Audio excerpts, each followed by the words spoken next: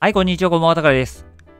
えー、昨日のそば、主役は円そばですかね。円の買い戻しが相当こう強く入ってきました。えー、ただこの円相場に関してなんですけども、ここ最近は底堅い動きも若干見えていました。まあ、かなり売り込まれていたということもありましたんでね、まあ、多少買いが入ってくることぐらいはま想定はしときたかったわけですけども、まあ、それにしてもこう強い買い入ってきましてね、えー、まずはこの環境を見ていくことにはなりそうです。一方でドル相場に関してなんですけども、こちらもやっぱり上値の差は見えているように思います。ということで、え週末に意識していた流れ、えドルの上値の重さ、円の底堅さ、えこれは変わらず見ていくことになりそうです。えこれを踏まえて、え各チャートを見ていきたいと思います。えまずこちらがユーロドル、1時間足に平所を重ねています。えドルが弱いですからね、チャートの方はやっぱり強くなりやすいですね。まあ、特にこの月曜日の上値ブレイク、まあ、これをブレイクと見ていくのかどうか、まあ、ちょっとこう悩ましいところもあったかと思いますけども、まあ、昨日の動きを見てもやっぱり底堅い動き見えてますよね。売りは確かに入ったんですけども、しっかり買い戻しも入っています。大きな赤い上昇トレンド、もう少し短期足見ても、短期の上昇トレンドがもうこれで見えてくるかなというふうにも思います。えー、まだまだ目線としてはロング目線で見ていきたいところですかね。そんなにこうユーロが強いわけではないんですけどね。えー、ただまあドルの上値の差はちょっとこう目立っているかなというところで、まあ、会話を探るということになっておきそうですかね。はい、こちらが15分足、4時間足重ねています。えー、4時間足見てるともう上げ下げ上げ下げの動きがもうこうリズムよくは入ってますかね。まあ、昨日ちょっとこう押し深かったですけども、サポートもしっかり見えています。まあ、変わらずドルの売り、えー、見ていくんであれば、まあ、買い場探しになってきそうですかね。1.08の60とか70、このあたりのサポート割り込んでくると、ちょっとこう景色変わってきそう。高値からの売りのトレンドにも見えてしまいますんでね。えー、こうなってしまうと、もうロングもちょっとこう難しくなってきますから、えー、まずはこのあたりをバックに、え今日は買い場を探るということになってきそうです。え最初の目標は直近の高値、1.09あたりですかね。えもしくはこのあたりブレイクなんかも期待はしたいところですけども、まあ、どうなりますかね。はい、変わりまして、こちらがユーロ円、えー、1時間足にへしを重ねています。えー、ユーロ円、まあ、クロス円ということでね、円が相当強く買われました。えー、結果、冷やしを見ていくと大陰線ですね。過去2週間ほどの上げを、まあ、1日で潰したということで、まさすがにインパクトある動きになったかなというふうに思います。まあ、上昇トレンドも、まあ、これで一旦は崩したということになりますかね。見えていたサポートも割り込んだということになりますから、波の反転ですかね、え、売りの流れ、え、仮に戻りが入ったとしても、戻り売りも見たくなってきますね。はい、えー、そしてこちらが4時間足、週足を重ねています。えー、今週の週足も大陰線になりましたね。えー、まだこれ確定はしていないですから、まあ、今週の場合、金曜日に雇用時計なんかもあったりもします。えー、まあ、この雇用時計次第ではまたこう環境も変わってくるかもしれませんけども、今のこの週足環境、この介入が入ったところ、まあ、この高値をどう捉えていくのかで意見が分かれてきそうなんですけども、まあ、これをブレイクと見ていけば、まあ、上昇の押し目買い、えー、狙っていくということになりますけども、えー、このあたり一体をまあ一塊とレンジと考えてしまうと、まあ、上値が重くなってしまったという見方にもなるわけですね。まあそうするとレンジの安値まで売りを見ていくわけで、全然まだ作業値もあるわけですね。ま、もちろんこれ、週足環境ですから、まあ、一方的にこういった流れがすぐに出てくるわけではないです。えー、上げ下げしながら、ま、この辺りを目指すということになってくるかと思いますけども、まあ、こういった環境からも円の買い戻しにはしっかり備える必要出てきたんじゃないですかね。安易な押し目買い、週足環境で見ていくと全然高値圏だったりもしますんでね、えー、気をつけたいところですね。はい、こちらが15分足、4時間足を重ねています。まあ、短期足見てると完全サポート終わってますからね、今この売りのトレンドを見たくなります。えー、流れが止まれば調整局面ということになりますけども、まあ、調整入ったとしてもそれなりのサイズ感、やっぱり見ていくことになりますんで、えー、それなりにこう戻りがある場面、えー、こういったのは出てくるかと思いますけども、まあ、それでもやっぱこうサポート割れたという事実がありますからね、戻りが入れば戻り売り、え見たくなりますね。まあ、昨日のこの売り、えー、短期足見ても、冷やし、しわしを見ても、かなりインパクトある売りになっています。えー、ちょっとまあ気をつけたい動きだと思いますね。相変わりましてこちらがポンドドル、えー、1時間足に平所がされています。まあ、これに関してはドルの弱さがこうしっかり出ているかなというふうに思いますね。このあたりの調整レンジと見ているわけですけども、おとといブレイク、昨日に関しても下髭つけたということで、えー、高値更新こそしていませんけども、チャートの強さはしっかり見えているように思いますね。えー、今日も会話を探す、え高値更新なんかにも期待はしたくなりますね。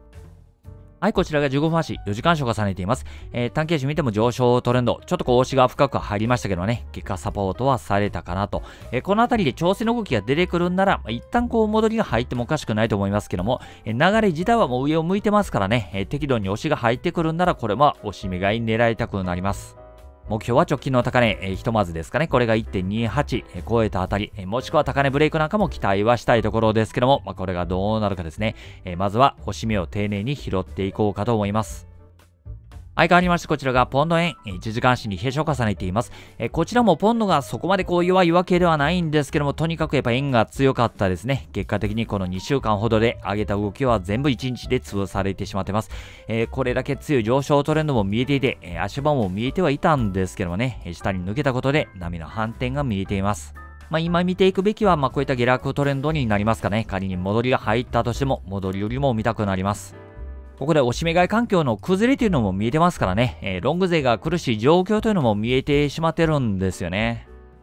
はい、こちらが15分足、4時間足を重ねています。えー、サポート割り込んでますからね、えー、ちょっとこの辺り、えー、も動きが見えてますから、もしかしたら、まあ、調整に入ったかも、調整出てくるんなら、それなりに戻りはあるかもしれませんけども、えこれも戻り、え出てくるんなら戻りよりをまずは見たくなりますね。えサイズ感からしても結構な売りが入りましたんで、えそこそこの戻りは警戒したい。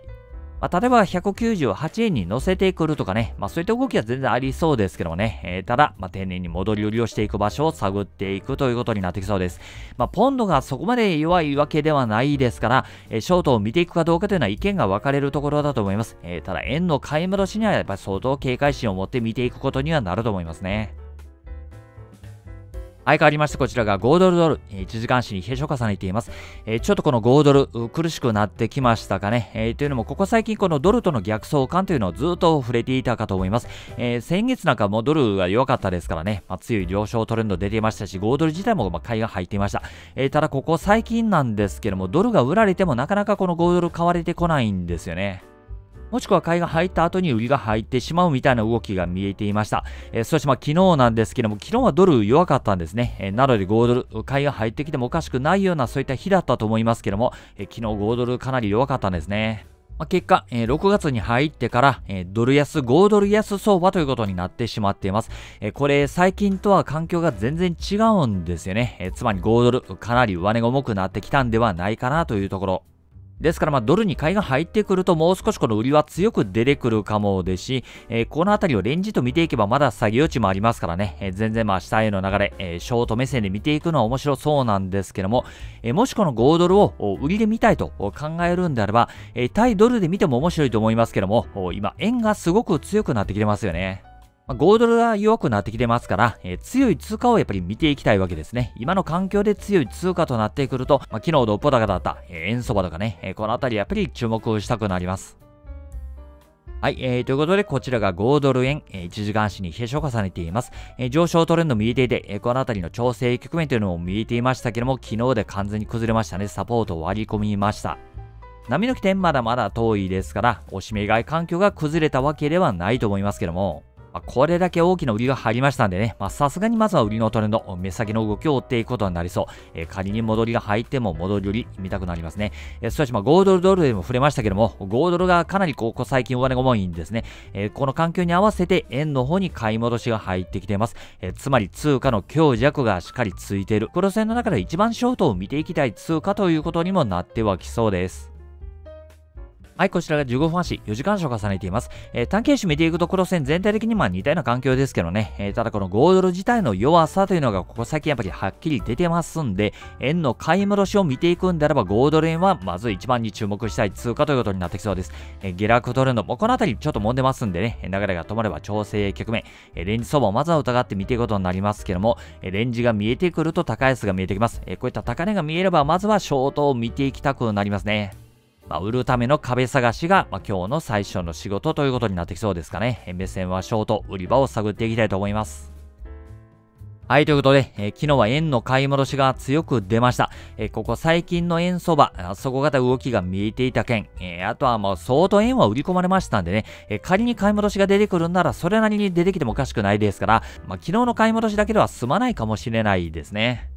もうしばらくこの円の買い戻しは見ていこうかなと思います。えー、ということは、この強い円に対して弱い通貨を見ていくということで、まあ、ここ最近ちょっとこう弱さが目立っている5ドル、5ドル円なんかはちょっと面白そうですね。売りのトレンドしっかり見たくなります。まあ、波の起点が100円前後ということになってきそうですから、えー、ということはまだ下げ打ち十分なんですよね。えー、売り場を探りたくなりますね。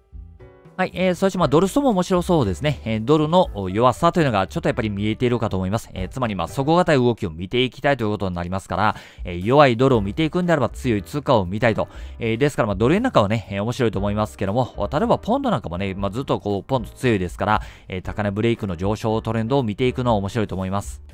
まあ、実際高値も抜けていますし、昨日のこの下髭を見ても、下がれば買いが入ってくるという環境見えてますからね、えー、高値更新を意識して、まあ、今日も買い場を探ってみていこうかと思います。